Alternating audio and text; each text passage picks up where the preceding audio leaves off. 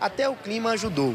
Uma manhã nublada de tempo agradável marcou o primeiro dia de vacinação drive-thru, com direito a vídeos e muitas fotos para registrar esse momento que muitos estavam esperando. Apenas idosos acima de 80 anos foram vacinados. Estou com medo de vacina? Não, não tenho medo disso não. Pode fazer umas 10 que não tem problema nenhum. Bem satisfeita, já mais tranquila também, né? Porque agora eles já estão quase imunes já. Trazer minha mãe, porque eu acho que é muito importante, estava contando os dias.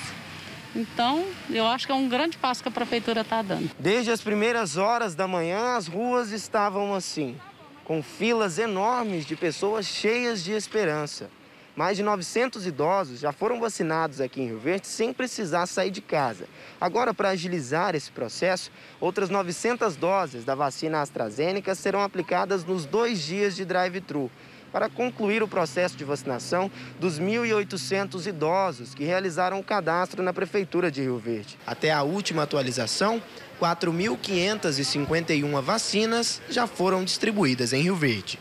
Isso para agilizar o nosso atendimento, então está tá sendo realizada uma triagem aqui na fila do, dos carros, né, onde confere a lista nos, dos que foram cadastrados no site da prefeitura e faz uma fichinha para que já possa ali é, receber a vacina. Isso é muito gratificante, até que fim Deus ouviu nossas orações e chegou a vacina tão esperada para nós. O sentimento é de felicidade, olhar cada rostinho deles ver a felicidade deles, agradecendo por ter chegado a vacina para nós, né? A próxima dose está prevista para daqui a 12 semanas. Muito, muito favorável, porque não perde tempo e fica melhor para quem trabalha, né?